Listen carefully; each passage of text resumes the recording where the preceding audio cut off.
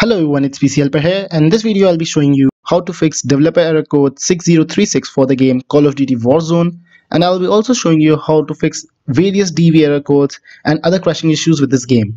So I already made a playlist on these issues for the game Call of Duty Warzone and as you can see this video on Call of Duty Warzone DirectX error is getting some decent reviews as you can see the like dislike ratio with 4000 views and it's solving problem for many users. So if you're having this DirectX problem, then I will provide you the link of this video in the description of this video. You can watch this video and get that problem fixed.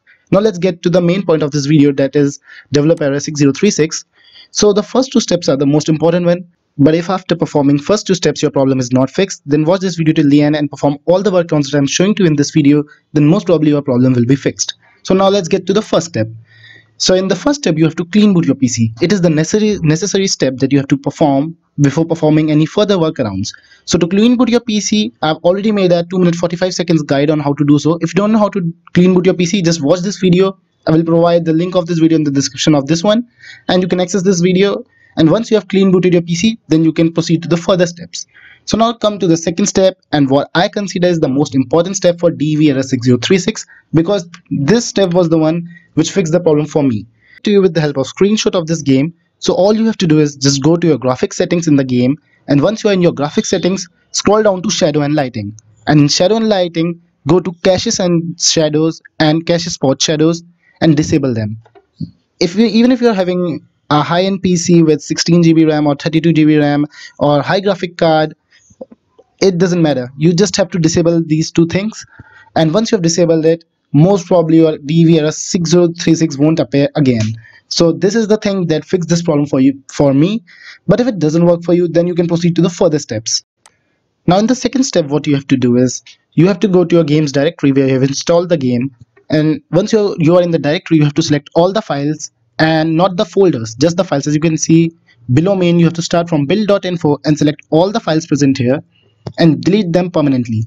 Once you have done so you have to go to a battle.net so you have to go to a desktop shortcut of battle.net and run it as an administrator. And once you have done so you will be on this screen where you have to select Call of Duty Modern Warfare and in options go to scan and repair and then the scanning will be started and it will start repairing your files.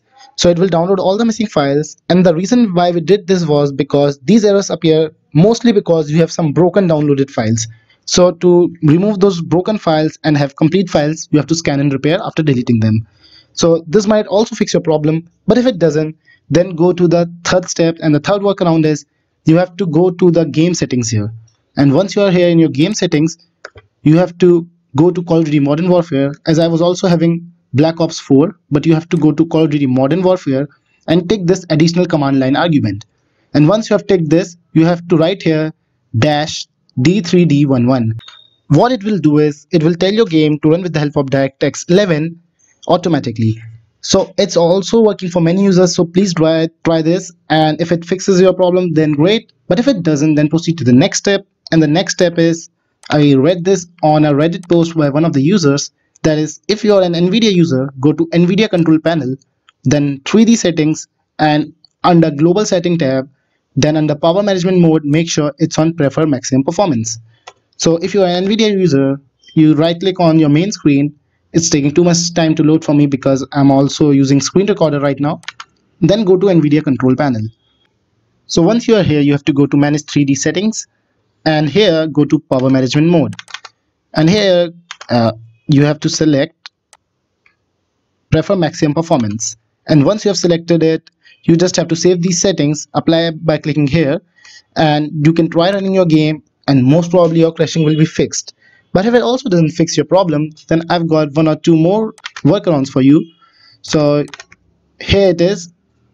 So this user has written on Reddit that he got a possible fix for the DVRS 6036 and what you have to do to fix this is in the main folder go to data. So in the Call of Duty Modern Warfare go to data folder and again go to data and see if there is a dot .rar file. And if there is a dot .rar file for in your game folder too you have to unpack it and rename it so it says data point 001 so what you have to do is you have to go to a Call of Duty Modern Warfare folder and inside data go to data again. And here if you have this winrar file and you have to unpack it and name it data point 001 so it is also working for many users. So if it works for you great. And if it doesn't then you can try the last workaround last set of workarounds that is working for most of the users again.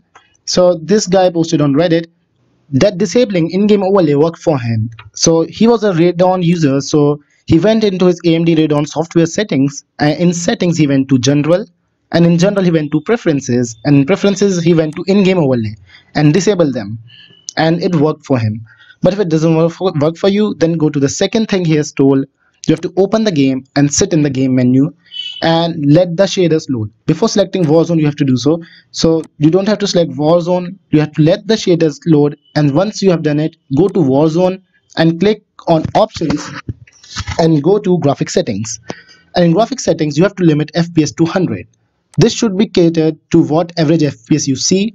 I think it's to limit fps spikes that might overwhelm the cpu the reason why we are performing this step is because the reason why you are having these crashing issues is because your PC uses 96% this game uses 96% of your CPU while running. So if you limit FPS that will use less amount of uh, percentage of your CPU and this might help with your crashing issue so if, but if it doesn't help then you have to go to shadow and lighting and turn off all shadow caches and reduce shadows to lower normal as we've done in the first step and apply these new settings and navigate back to the graphics and restart shader download. Once that's completed, try the battle royale again. So these were all the workarounds and another solution that I read in the comment section of one of my videos was that one user told me that restarting the shader download and downloading shaders every time before playing the game did the job for him.